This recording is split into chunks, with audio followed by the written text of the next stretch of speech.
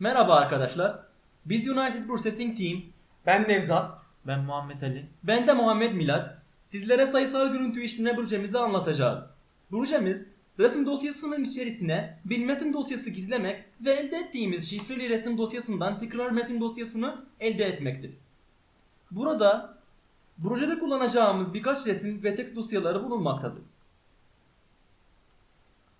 İlk olarak sizlere tasarlamış olduğumuz Graphical User Interface üzerinden projemizin çalışma mantığını anlatacağım.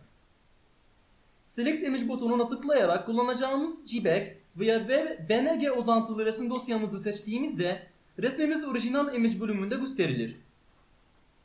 Şimdi de resmin içerisine gizleyeceğimiz text dosyasını seçelim. Gördüğünüz gibi dosyanın içeriği orijinal text bölümüne yazdırıldı. Şimdi yüklediğimiz resim dosyasının içerisine metin dosyamızı yerleştirmek için şifreleme işlemini gerçekleştiren coder butonuna basalım. Gördüğünüz gibi şifreli resmimiz encrypted image bölümüne yazdırıldı. Elde ettiğimiz şifreli resimden metin dosyamızı geri elde etmek için solver butonuna tıklayalım. Ve elde ettiğimiz metin dosyası decrypted text bölümüne yazdırıldı. Burada şifrelenmiş resim dosyası ve tekrar elde ettiğimiz metin dosyası görülmektedir.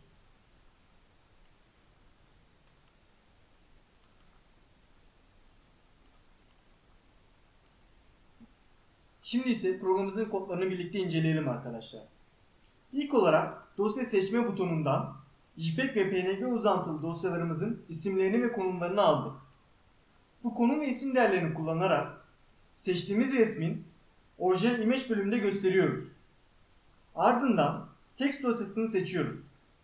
Text dosyasının isim ve konum bilgisini kullanarak text dosyamızı ekrana bastıralım.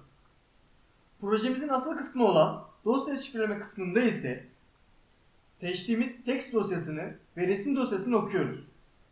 Resim dosyasının satır ve sütun sayısını buluyoruz. Daha sonra metin dosyamızın karakter sayısını buluyoruz. Şifreleme döngümüzde ise resim dosyamızın satır ve sütun sayısı kadar döngü oluşturuyoruz. Resmi içerisinde şifreleyeceğimiz kısımların text dosyasının karakter sayısı kadar döngüye girmesi gerektiği için bir if koşulu oluşturuyoruz. Resim dosyamızın piksel değeri ile text dosyamızın karakter değerinin toplamı 255'ten büyük ise resim dosyamızın piksel değerini metin dosyamızın karakter değeriyle topluyoruz ve 256 çıkartıyoruz.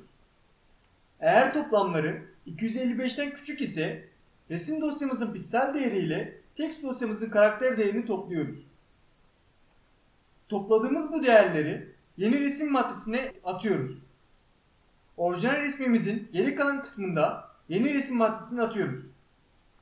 Yeni oluşturduğumuz şifreli resmi yazdırıyoruz.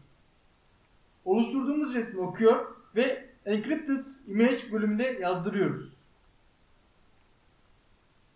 Şimdi ise oluşturduğumuz şifreli resim dosyasından metin dosyasını elde etmeye geldik.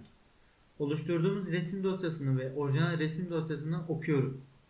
Okuduğumuz resim dosyalarını Unit 16 formatına getiriyoruz. Resim dosyalarımızın satır ve sütun değerlerini buluyoruz. Şifre çözme döngüsü için resim dosyalarımızın satır ve sütun sayısı kadar döngü oluşturuyoruz. Eğer şifreli resim dosyamızın piksel değeri yani x orijinal resim dosyamızın piksel değerinden büyükse şifreli resim dosyamızın piksel değerinden orijinal resim dosyamızın piksel değerlerini çıkartıyoruz.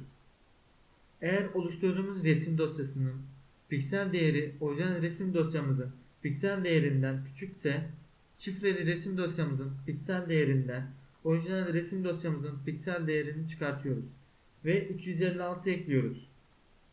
Elde ettiğimiz bu değerleri Unit 8 formatına şifre matrisimize atıyoruz. Decrypted dosyasını oluşturup şifre matrisini dosya içerisine yazıyoruz. Oluşturduğumuz bu dosyayı okuyor ve Decrypted Text bölümüne yazdırıyoruz. Şimdi ise programımızın arayüzüne tekrar bakalım. Select Image butonuna basalım ve resim dosyamızı seçelim. Da ondan sonra Select File butonuna basarak text dosyamızı seçelim. Coder butonuna basarak text dosyamızı resmin içine gizleyelim.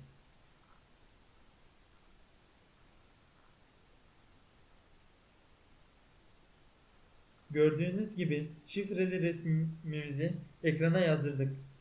Şifreli resimden text dosyasını resimden elde etmek için Solver butonuna basalım. Bu şekilde text, text dosyasını tekrar elde ettik. Dinlediğiniz için teşekkürler.